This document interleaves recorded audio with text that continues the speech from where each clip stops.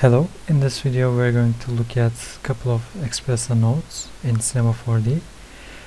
Uh, for this video we're going to see bitmap operator, bounding box, collision, color temperature and constant nodes. Let's start with bitmap.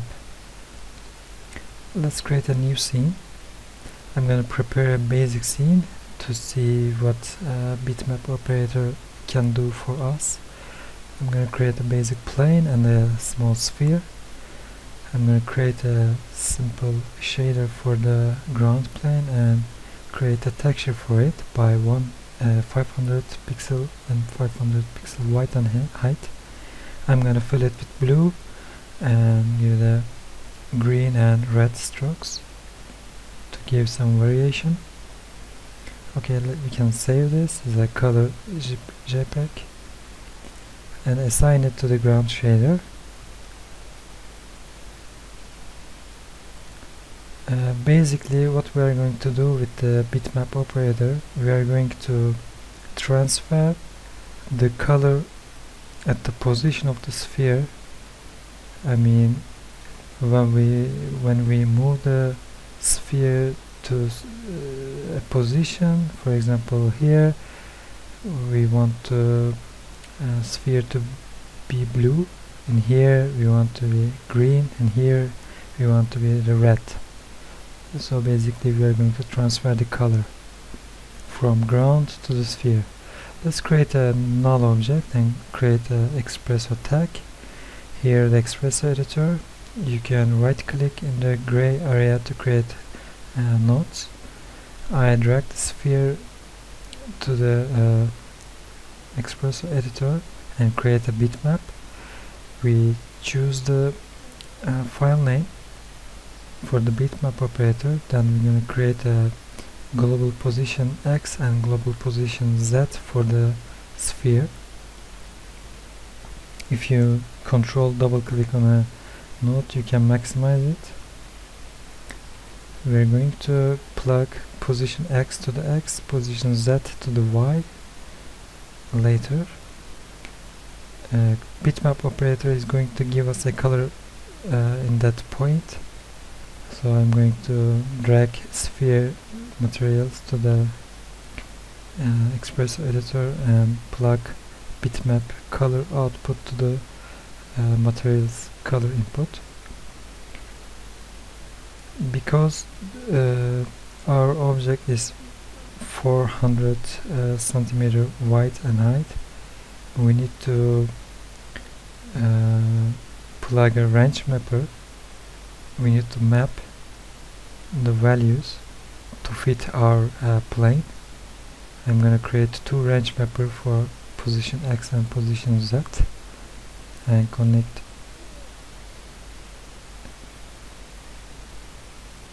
for the position X we want to we want to decide uh, input lower and input upper in this case our input lower is negative 200 and input upper and the maximum number is the 200 for the Z it's uh, inverse. So we're gonna type to negative 200 and 200 and output lower 0 output upper is 500 that 500 comes from the uh, image dimension. So if you see the document size it's 500 pixel.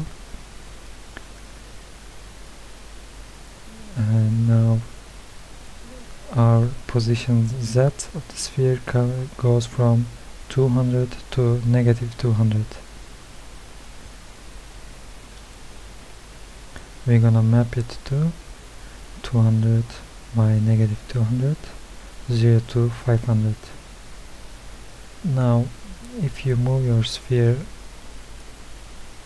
you can see it's blue it's go green blue again green red. You can see this uh, bitmap operator uh, in a different ways. You can uh, paint your ground and you can uh, populate some trees flowers and you can give their color from the ground shader etc here's the bitmap operator. Let's move our uh, list.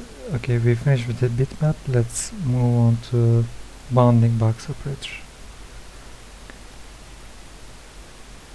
Bounding box operator is the maximum area of your object uh, in space in your viewport for example you have a, a, model like this you have a character like this and you want to calculate its bounding box and maximum uh, space in, in the viewport in the global space.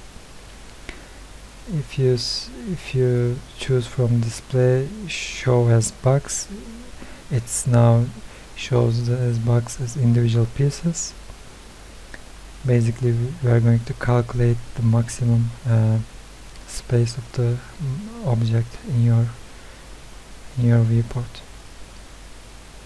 If you uh, combine this object and show box in the viewport you this is what we are going to do.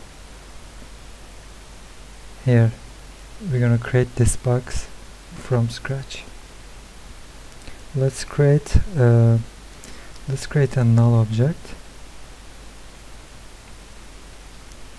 First let's create a cube. Then we, we're gonna manipulate these points to the to create the uh, bounding box.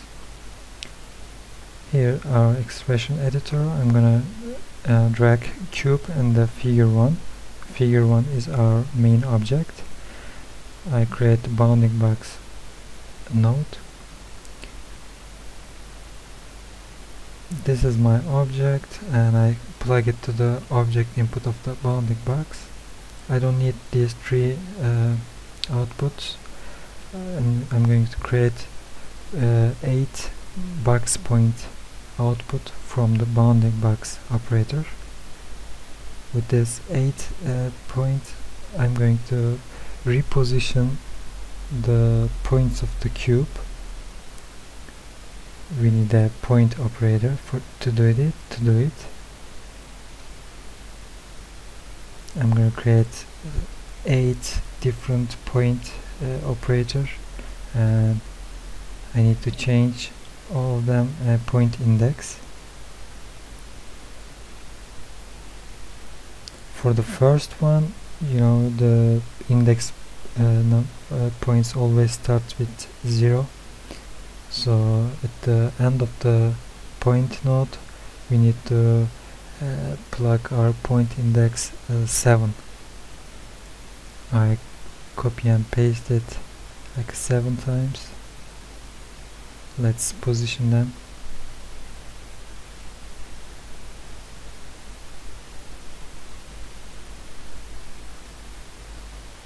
okay. Uh, this one is the first one is 0 second one is 1 this is 2 this is 3 this is 4 5 this one is point index 6 and the last one is 7 so I I plug the cube object output to the point uh, object input then I will uh, connect my box point uh, output from the bounding box to the point position of the points.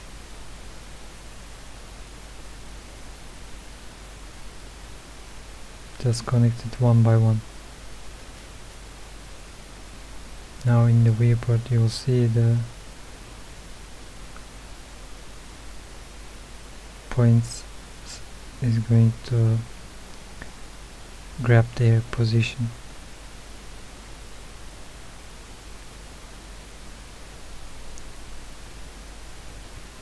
Here you can see it starts to building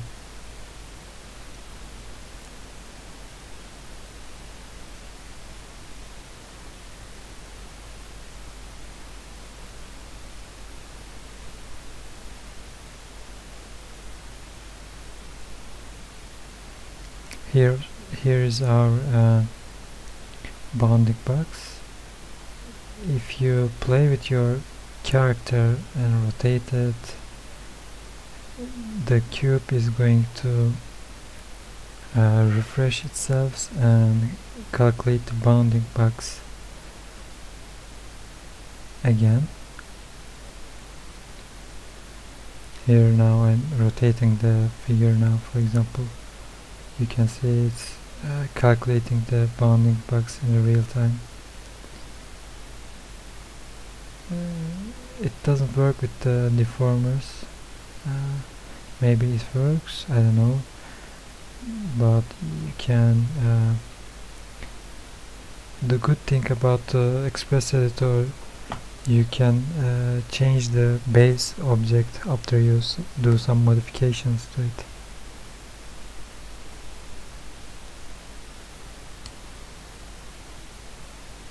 here you can see it's updates automatically. Okay this is bounding box operator. Let's move to the next one.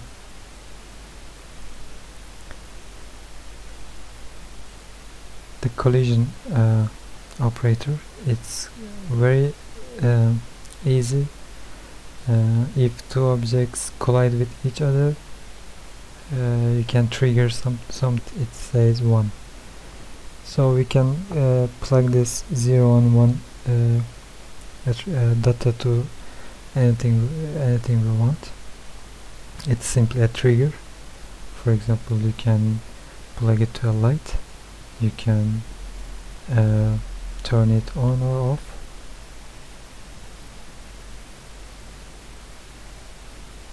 in this case I'm uh, connecting the enabling.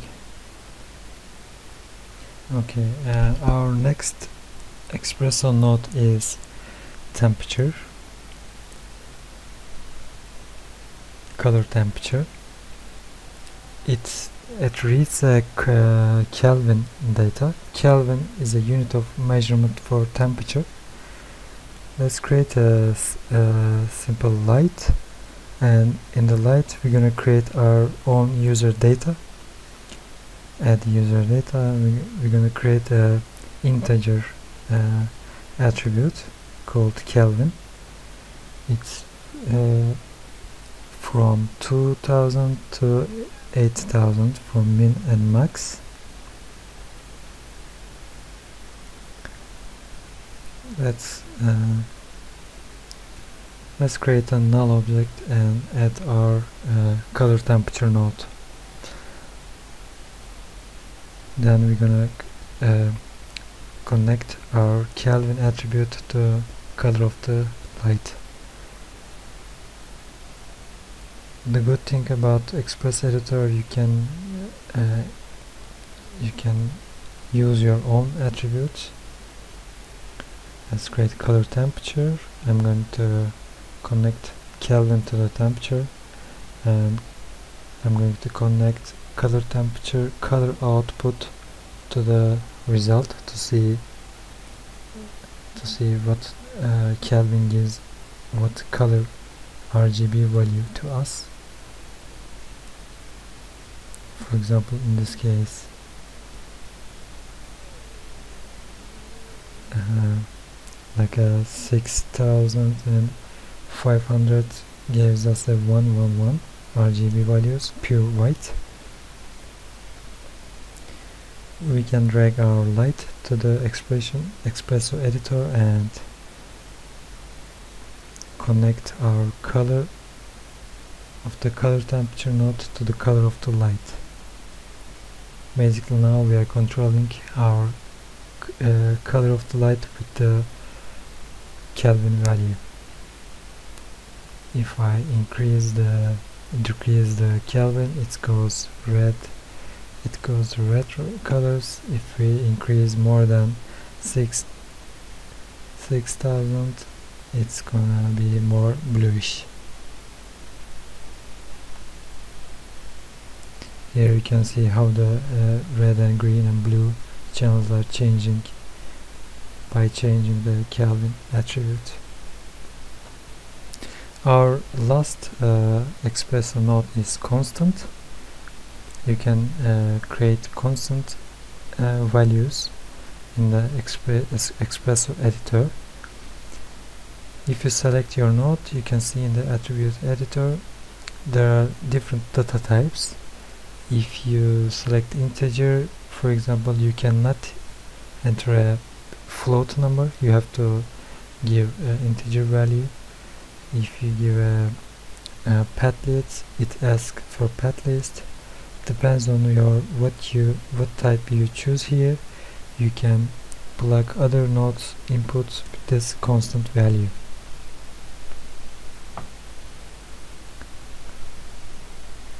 Here for example this is a vector or there are some predefined constant values like 0 and 1 so for this lesson uh, we cover five different Xpresso nodes.